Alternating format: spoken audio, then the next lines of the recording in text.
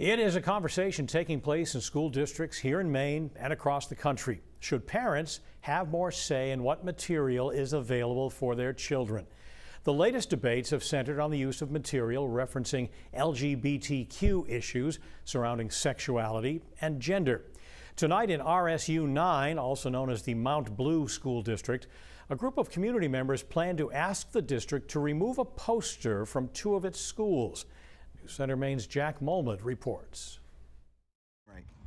Shouldn't be brought up in a school unless it needs to be.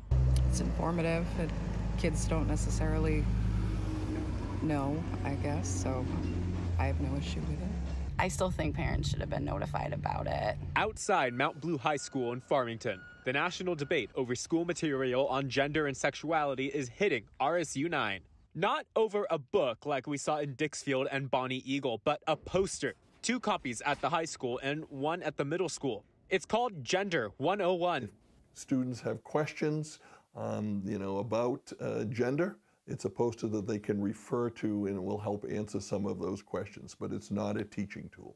That superintendent, Christian Elkington, he told News Center Maine, complaints about the poster came as emails last month to school board members. Elkington said he's seen complaints over LGBTQ inclusive material rising in districts around him. We did not see that this was necessarily coming to us, but we figured with the way politics was that we would probably see something uh, sooner than later. Community members who complained about the poster want it removed, though it's not required reading. These claims are not in line with biological science and should not be allowed in our Mount Blue High School due to their political and misleading nature, according to earlier emails. Superintendent ruled himself the poster is not inappropriate.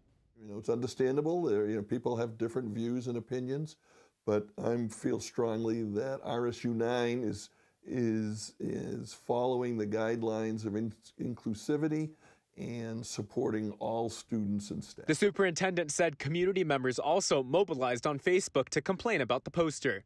We reached out to an admin of the group, but were denied an interview.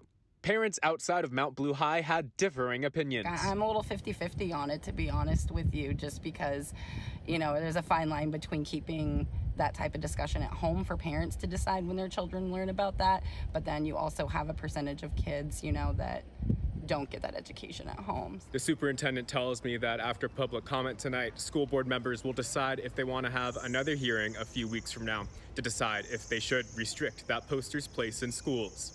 At Mount Blue High School, Jack Molmud, News Center, Maine.